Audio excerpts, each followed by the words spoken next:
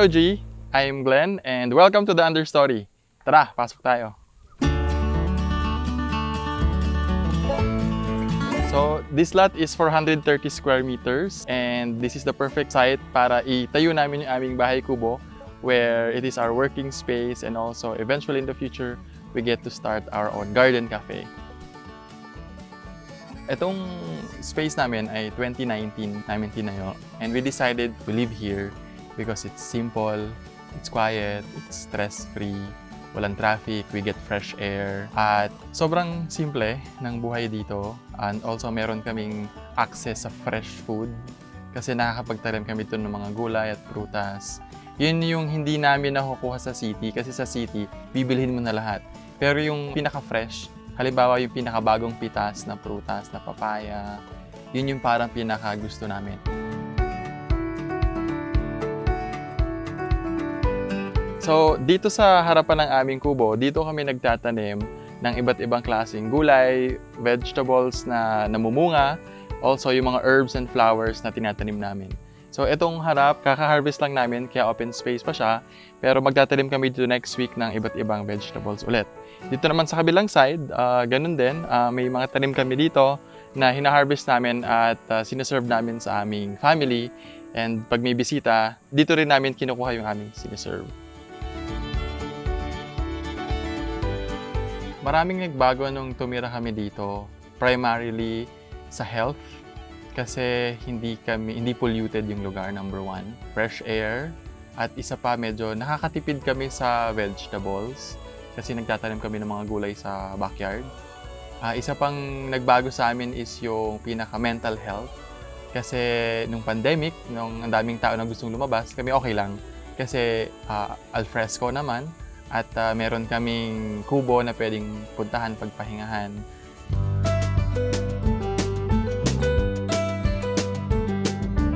So this is our two-story bahay kubo. This is a 4 by 5 uh, meters in size and uh, surrounded siya ng mga halaman para malamig. So yung mga plants namin na ginamit dito, we have a mixture of uh, native plants, we have edible plants, and also yung mga landscaping plants. Tara, salipin natin sa loob. Yung mga materials na ginamit namin sa kubo ay mainly kahoy or wood. So yung iba ay recycled, kagaya nitong mga braces ng kubo. Yung iba naman ay binili, for example yung mga coco lumber para dun sa mga frames. Yung table namin, ito ay gawa sa plywood since medyo expensive yung mga hardwood. And also yung aming uh, poste, yung aming foundation, gawa ito sa PVC with concrete na reinforced siya ng bakal sa loob. And then, surrounded siya ng iba't ibang klaseng plants para may maintain yung lamig ng ating kubo. So, ito yung aming uh, DIY uh, light. So, gumamit kami ng jars and also yung reused or recycled na paleta to make our lighting fixtures. Meron din kami dito ang lantern. We want warm light para mas may ambience. And then here, meron kaming small kitchen and lababo. Dito kami naghuhugas ng kamay at naglilinis ng mga gamit. So, as you can see here, gumamit kami dito ng translucent na roofing para yung lighting namin ay natural pa rin. So, ito yung mga gamit na binigbigay sa amin at mga nakokolekta namin throughout the process nung tinatayo namin tong aming uh, small space. Uh, ito naman yung papunta sa yung paakyat sa second floor. So yung aming hagdan. Sa taas, meron kaming bed. No? Uh, kasya dyan yung apat na tao.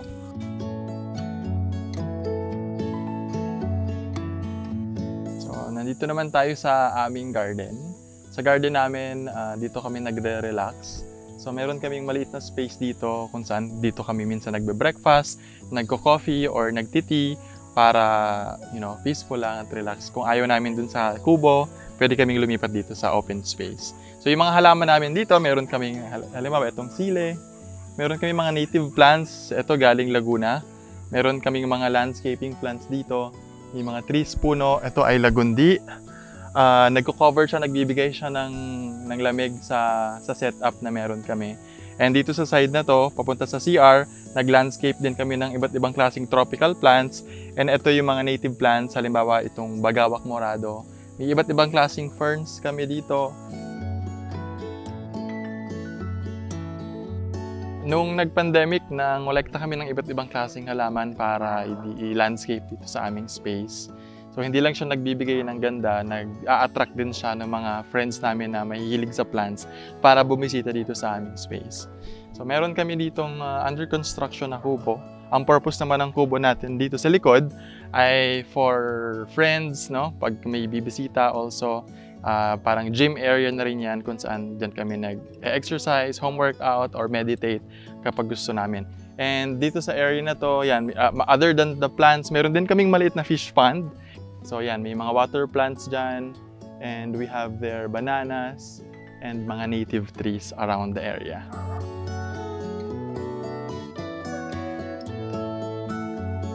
Uh, the house alone, estimated namin dito mga 65,000 pesos lang, including the materials and the labor. And uh, sa landscape naman, pati sa maintenance ng mismong property, siguro additional 65,000 for for the year. And uh, importante rin na ano, na talagang tayo yung nag-maintain para makaless din sa labor cost.